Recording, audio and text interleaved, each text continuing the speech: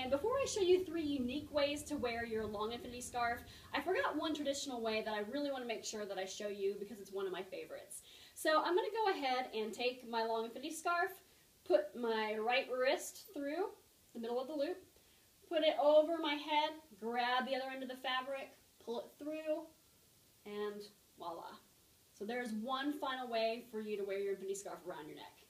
So now let me show you some more unique ways you can use your infinity scarf that you can't do with a shorter scarf. So again, this is really only things you can do with a, a longer infinity scarf. So the first option is to make it a shawl.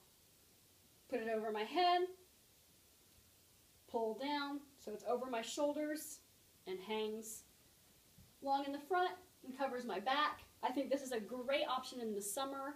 Um, if you're wearing an infinity scarf and you go somewhere where the AC is blasting, like the movie theaters or something like that, um, hey, you've got a portable shawl with you to keep you warm, so I like that option. The next option is a little bit more for function. Um, it's a cape.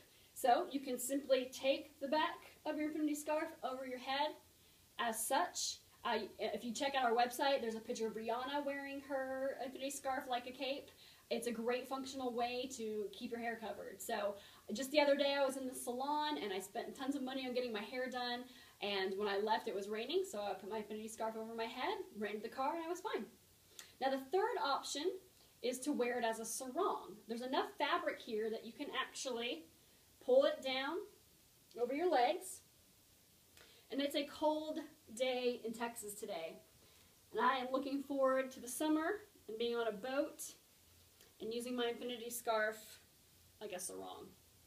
So I've got, we'll tie it up here. All right, there we go. So I've got this, the scarf around me. I'm just going to pull it over to the right side. I'm going to take the top of it and make it long. And then I'm going to simply tie a knot on the side.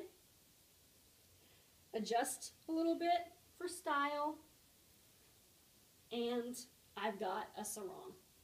So thanks for joining us today. Please check out flingfashions.com for more style tips. Thanks.